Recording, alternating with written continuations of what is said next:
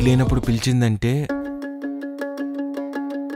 బాబోయ్ నాకు సిగ్గేసేస్తుంది నువ్వు శారీలో చాలా సెక్సీగా ఉన్నావు. నిన్నొకటి అడుగుతాను. నిజం చెప్తావా?